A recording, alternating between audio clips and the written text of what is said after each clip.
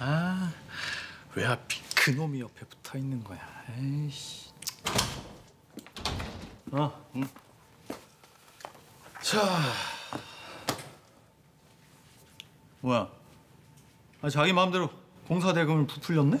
아이고 우리 쪽 요구대로 하다 보니까 좀 오버가 됐더라. 아이고 사정 좀 봐달라고 애걸복걸 하더라고. 참나 받을 거 다 받아 처먹으면서 맨날 찡찡거리기는. 야, 우리 운동하러 갈래? 아니 누굴 또 두들겨 패고 싶어진 건데? 어떤 인간이 자꾸 신경을 거슬리게 하네. 참 별것도 아닌 게 어찌나 건방진지 주제도 모르고 자꾸 개기고 말이야.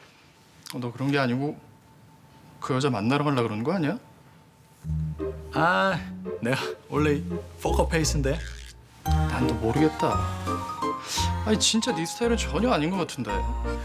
그렇긴 한데 우연히 지나치게 반복되고 있거든. 내가 워낙 그딴 걸 믿지 않아서 그렇지 운명 어쩌고 할 판이라니까. 아이고 그래서 그 연애라도 할 거야? 뭐 일단 우연인지 어쩐진 좀 알아보려고.